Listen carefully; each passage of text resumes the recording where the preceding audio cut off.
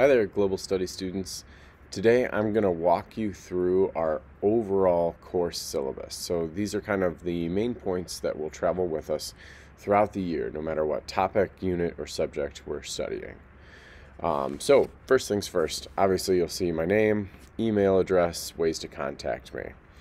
Next, we go into the purpose of this course. And I'll say that I, I want you all to read through this carefully. I'm not going to sit here and read it to you, but I'm going to tell you that the general overview of the purpose of this course, Global Studies, is to get a more general view of social studies, um, the subject. So you have had history classes before, and you'll continue to have history classes in the future.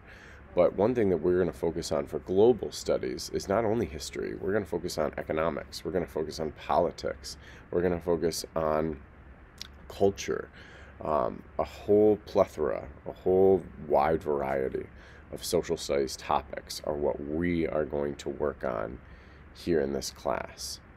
And then another big part is that although this is a global studies class, you know, looking at the world, we're also going to take a significant amount of the time trying to connect topics, ideas that we're learning back to our own communities.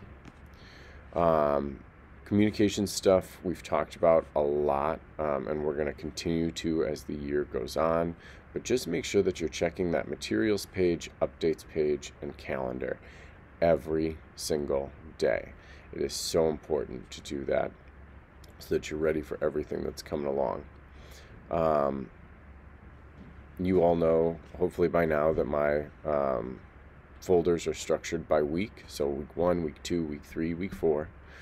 Um, and that a majority of the time you're going to be turning things in on Schoology, even if you've used another application like Google Docs or Google Slides or PowerPoint to create something, most of the time it's still going to be submitted through Schoology. Um, here's a rough calendar of our units this year. Now, this is subject to change.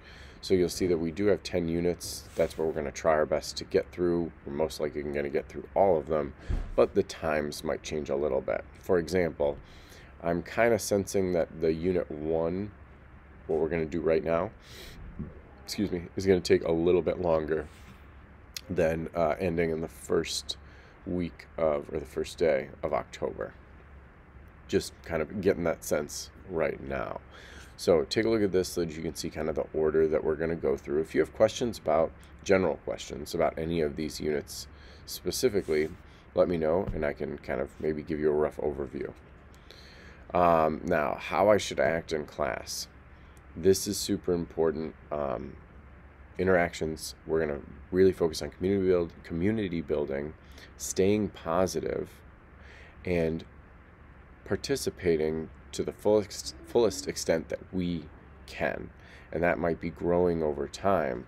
So even if you're not necessarily a big participator now, I want you to try and see what growth you can make as the year goes on. Um, grading policy, standard stuff, 100 to 90 A, uh, 89 to 80 is a B, and so on and so forth. One thing that might be a little bit different um, depending on where you went to school last year. Um, anything under 69% uh, is just considered in progress, an IP. Um, so there's no D's, there's no really um, F's.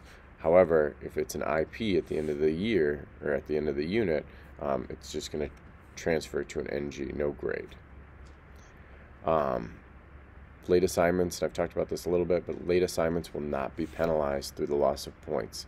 I would rather have something good than something fast.